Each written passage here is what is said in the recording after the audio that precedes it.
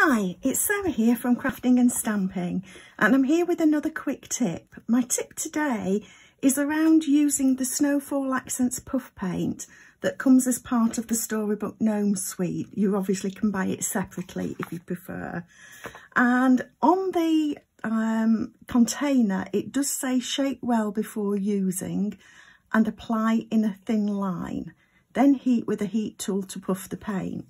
So the first thing is yes, you do need to shake it up very well, I would say, to make sure if it's been settled that you've got a good mix of the solutions that are in there. Now, I would also recommend, one of my tips is to actually run out a little bit of it first anyway.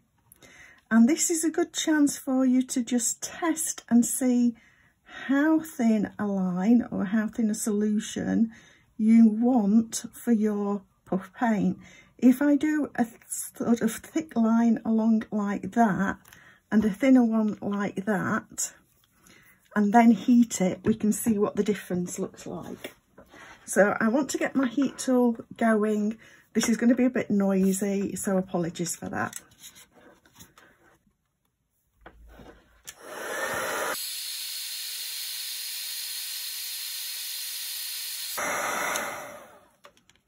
So I can see from this test piece that the very thin strip of it is probably too thin for what I'm wanting. I'm going to use it on this little toadstool house. So again, I'm going to just give it a quick shake. And again, I'm just going to squeeze a little bit out of the end before I pop it on my house. And I'm just going to cover these spots with the paint. And I'm not being too precise. I'm not too worried about it. I could even do it as one piece rather than the spots. So now we'll just heat this so it's going to get noisy again.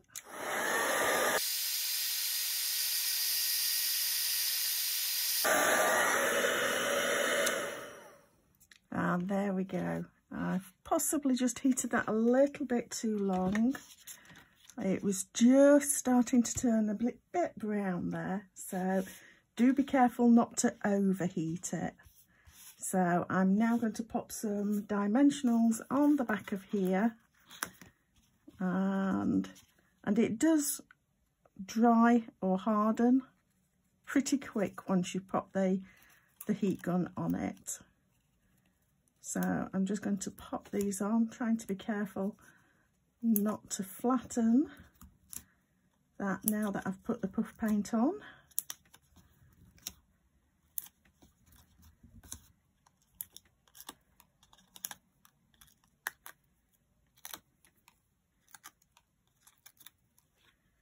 And there we are, we've got a little bit of extra dimension on our little toadstool house. So I hope that that gives you a few tips for how to use this Snowfall Accents puff paint. Like I say, um, the best tip is really to just test it out first, see how, how it works. It can go quicker on paper than it does on card. So just be a little aware of that. I was, like I say, I was just starting to overheat it just there. Uh, so watch out for that. And I hope that that helps. Please do subscribe to see a quick tip every Friday and a quick card every Monday. And thanks for stopping.